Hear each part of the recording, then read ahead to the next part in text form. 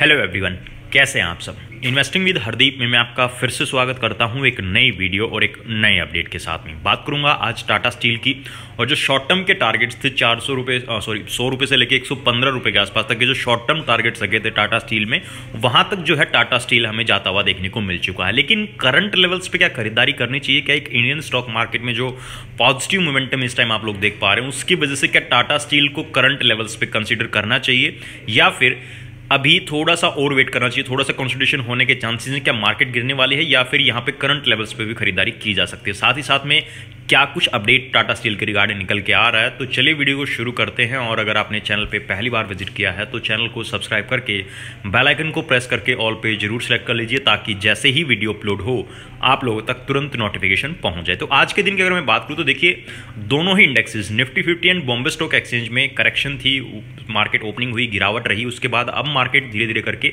Recovery करती हुई नज़र आ रही है। लेकिन उसके बिसाइड्स अगर बात करूँ तो टाटा स्टील में लगातार जो है मार्केट खुलते ही जो एक पॉजिटिव मोमेंटम देखने को मिला था, जो ऑलमोस्ट तीन परसेंट के आसपास अभी भी तेज़ी बनाए हुए है। दो रुपये पिचानवे पैसे की बढ़त और एक सौ चौदह रुपये पिचानवे पैसे पे इस टाइम टाटा स्टील देखने को मिला जहाँ लास्ट क्लोजिंग एक सौ बारह रुपये के आसपास देखने को मिली थी।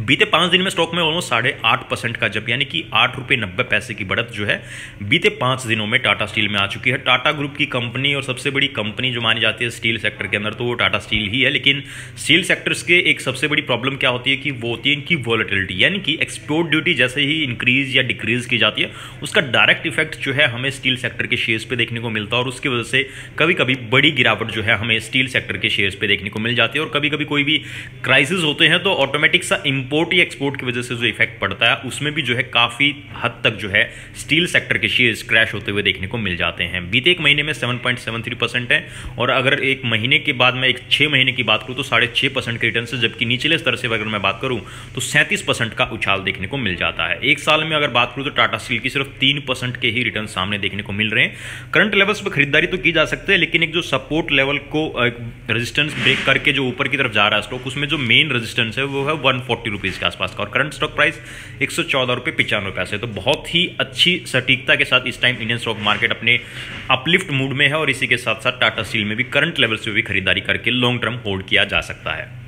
मैक्सिमम रिटर्न्स देखें तो 1500 परसेंट के रिटर्न्स जो हैं टाटा स्टील में देखने को मिल रहे हैं। और जो चीज़ मैं आपको थोड़ी देर पहले समझा रहा था कि इंपोर्ट एक्सपोर्ट कोई भी क्राइसिस होते हैं तो उसका सीधा इफ़ेक्ट जो है स्टील सेक्टर के शेयर्स पे देखने को मिल जाता है। तो वही देखिए 2008 में बुरी तरीके से क्रैश हुआ। 2014 में भी, फिर 2017 में, फिर 2020 में कोविड के टाइम और उसके बाद एक रफ्तार दिखाई भी और उसके बाद अब मार्केट इन्फ्लेशन की वजह से भी हमें टाटा स्टील में गिरावट देखने को मिल चुकी है।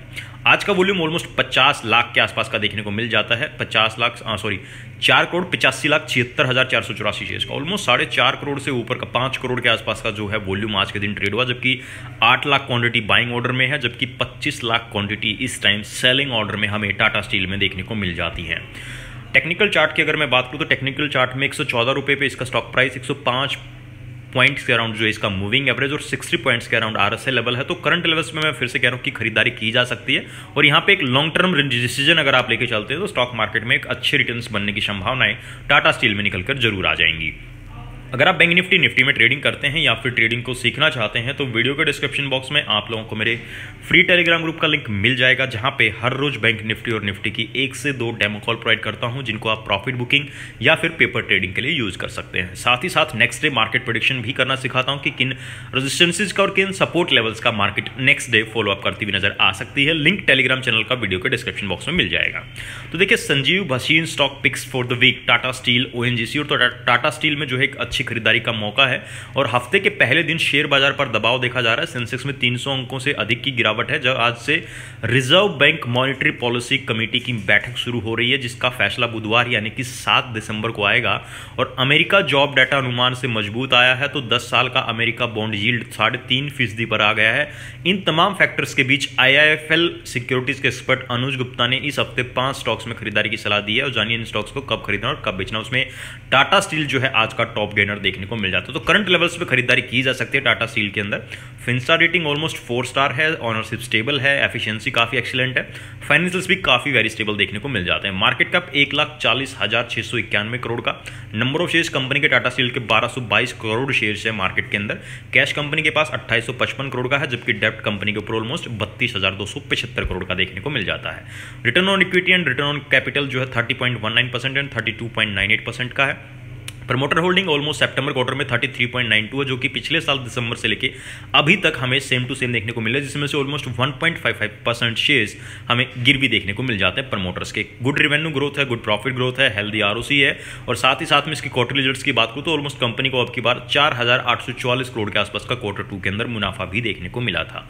पब्लिक की होल्डिंग 25.46 परसेंट और एफ़ आई परसेंट और डी आई परसेंट तो चारों हिस्सों में हिस्सेदारी बटी हुई है, लेकिन सबसे ज़्यादा स्टेक फिर भी प्रमोटर्स के पास ऑलमोस्ट तैंतीस परसेंट के आसपास का स्टेक है तो करंट लेवल्स पे टाटा स्टील में भी खरीदारी करके लॉन्ग टर्म होल्ड किया जा सकता है।